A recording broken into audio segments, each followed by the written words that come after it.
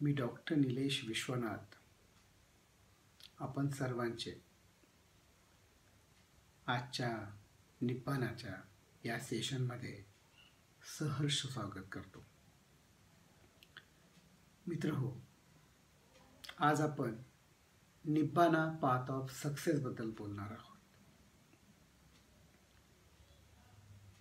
यशाची व्याख्या प्रत्येकाची वेगवेगळी असू शकते. एखाद्या उद्योगपतीला आपला उद्योग मोठा करणं यश असू शकतं तर एखाद्या आईला आपलं बाळ मोठं करणं. तसेच एखाद्या शिक्षकाला आपला विद्यार्थी मोठं करणं किंवा एखाद्या लेखकाला आपल्या लेखणीतून समाज परिवर्तन करणं. वेगवेगळ्या लोकांना वेगवेगळे यश अपेक्षित असू शकतात. या जगाचा अभ्यास केल्यानंतर कोणत्या प्रकारच्या लोकांना जास्तीत जास्त यश मिळतं? असा जेव्हा अभ्यास झाला तर यश प्राप्त करणाऱ्या लोकांची काही स्वभाव वैशिष्ट्य असतात. त्याला आपण एका विशिष्ट कॅटेगरीमध्ये डिव्हाइड केलेलं आहे आणि त्या कॅटेगरीचं नाव आहे एक्स्ट्रॉर्डनरी पर्सनॅलिटीज संपूर्ण जगाचा अभ्यास केल्यानंतर असं जाणवलं की शंभरातले पंच्याण्णव टक्के लोक हे ऑर्डिनरी आहेत सामान्य आहेत.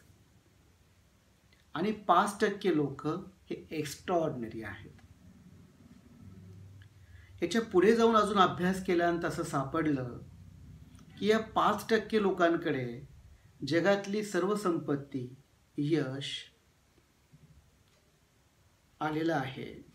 आणि उरलेलं पाच टक्के या पंच्याण्णव टक्के लोकांकडे आहे.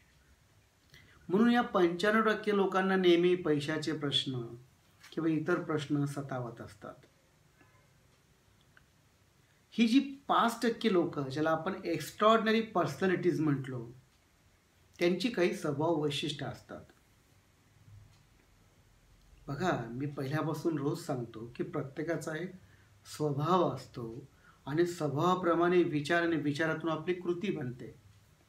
तर या पाच टक्के लोकांचा एक विशिष्ट स्वभाव असतो. त्या स्वभाव वैशिष्ट्यांमुळेच ही लोक आहे त्या प्राप्त परिस्थितीतून मार्ग काढून स्वतःचं यश संपादन करतात. तसं पाहिलं तर सुरुवात शंभर लोक करतात. शंभर लोकांचा प्रामाणिक प्रयत्न असतो की त्यांना हवं ते यश प्राप्त करणं. पण निकाल लागल्यानंतर असं जाणवतं की फक्त पाच टक्के लोक तिथपर्यंत जाऊन पोहोचतात जे त्यांनी अपेक्षित केलं होतं. मग या स्वभाव वैशिष्ट्यांचा जेव्हा अभ्यास केला त्यातनं अजून एक गोष्ट अशी पुढे आली की काही स्वभाव हे कॉमन असतात काही वैशिष्ट्य कॉमन असतात. ती जर आपण अक्वायर्ड केली ते शिकलो त्यांचा फॉलोअप घेतला सराव केला आणि त्याचा स्वभावात रूपांतर आपण जर केलं तर आपण सुद्धा त्या प्रकारचे व्यक्ती बनवू शकतो. आणि तो मार्ग आपण शिकतो निपाना पाथ ऑफ सक्सेसमध्ये नसता आजच्या घडीला समाजामध्ये सक्सेसचे मार्ग काय दिसतात? शॉर्ट शॉर्टकट्स वापरले जातात. राजकारण केलं जातं. आपल्यात आपल्यातलाच एखादा पुढे जात असेल तर त्याचे पाय ओढणारे कमी नसतात. घरातले आणि आप आपसातले मित्रच त्याचा द्वेष मत्सर करतात. त्याचं नाव थोडं व्हायला लागले की त्याबद्दल गॉसिपिंग सुरू होते. किंवा सक्सेस मिळवण्यासाठी भ्रष्ट मार्गांचा शॉर्टकट्स मार्गांचाही वापर केला जातो. अर्थात हे यश जास्त दिवस टिकणारं नसतं. आम्ही ज्या मार्गाबद्दल बोलतो तो मार्ग निरंतर टिकणारा असतो चिरकाल टिकणारा असतो एक आनंद देणारा असतो. आनंदात आनंदाच्या मार्गातून यश प्राप्त करणं आणि एकच जन्म माणसाला मिळतो. मित्र हो माणसाला एकच जन्म मिळतो. पण या जन्मात असं काही करून जायचं स्वतःसाठी समाजासाठी की जिवंत असताना खरोखर जगण्याचा एक विशिष्ट आनंद वाटला पाहिजे. येताना आपण काही घेऊ घेऊन येत नाही पण जाताना समाजाला असं काही द्यावं. असं म्हणतात की जन्म आपल्या हातात नसतो. जन्माने आपण कसं यावं ते आपल्या हातात नसतं पण मरताना कसं मरावं हे मात्र निश्चित आपल्या हातात असतं. म्हणून निब्बाना पाथ ऑफ सक्सेसमध्ये आम्ही या विषयावर डिस्कस करतो. याच्या कार्यशाळा चालतात याचे कोर्सेस चालतात. या माध्यमातून आम्ही माझ्या स्वतःचा आणि इतर साधकांचा असा अनुभव आहे.